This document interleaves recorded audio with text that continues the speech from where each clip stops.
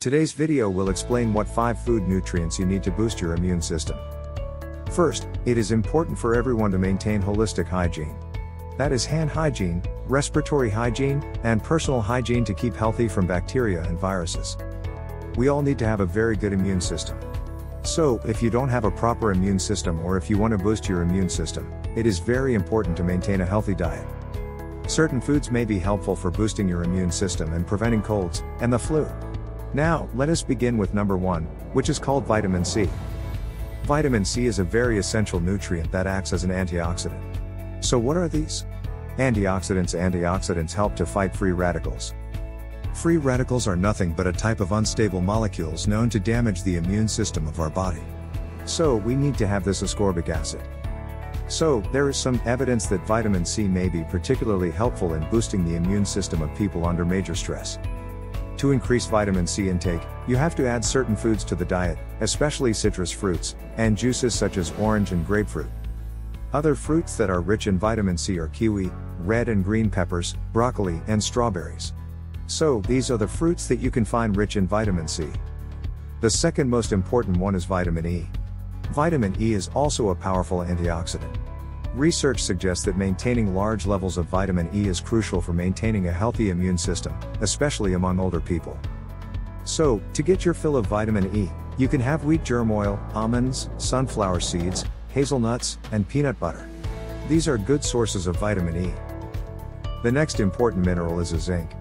Zinc is an essential mineral involved in the production of certain immune cells. The National Institute of Health cautions that even very mild levels of zinc deficiency can impair our immune system. So, what are the top foods which are rich sources of the zinc? They are oysters, baked beans, cashews, and chickpeas. These are the important sources of the mineral called zinc.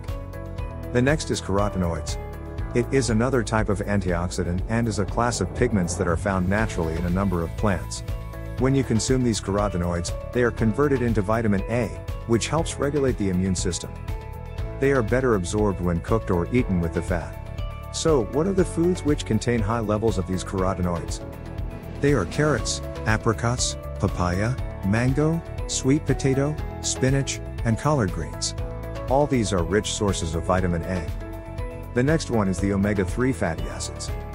The omega-3 fatty acids are the type of essential fatty acid known to suppress inflammation and keep the immune system in check. Although, it is not known whether these omega-3 fatty acids can help to fight off infections such as the common cold. Research suggests that omega-3 fatty acids can protect against autoimmune disorders like Crohn's disease or ulcerative colitis, and rheumatoid arthritis.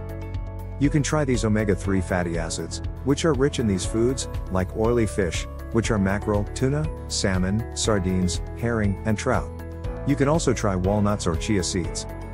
Another alternative to boosting your immune system is taking supplements containing high doses of antioxidants and other nutrients found in whole foods. Some researchers indicate that taking dietary supplements may have limited benefits for the immune system. In other words, all the nutrients you need are better found in natural and unprocessed foods. If you are still considering taking supplements, it's a good idea to consult your healthcare provider first to weigh the pros and cons. Keep in mind that overconsumption of these supplements can also deteriorate your health. We can conclude that nothing beats consuming natural and unprocessed foods. Remember, always invest in your health.